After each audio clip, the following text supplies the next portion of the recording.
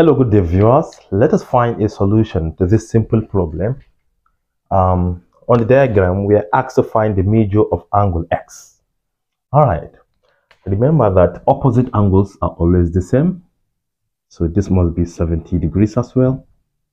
And this is a triangle.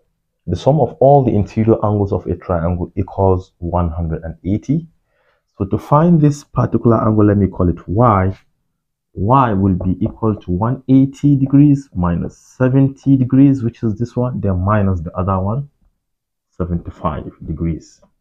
180 minus 70 is 110 and 110 minus 75 will give us 35 degrees.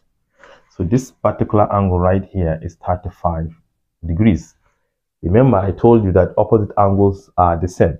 Therefore if you observe x and this other angle must be the same.